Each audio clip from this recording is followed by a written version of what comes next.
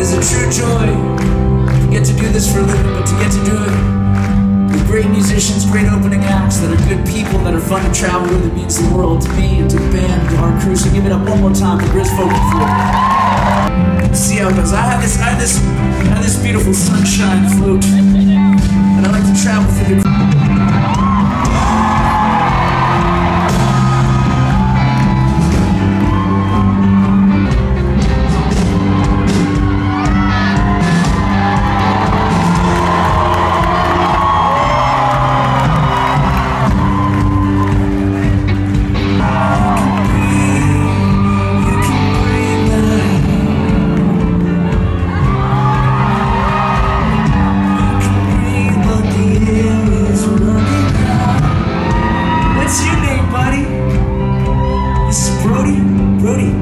See all these people? They don't want to say hi to you.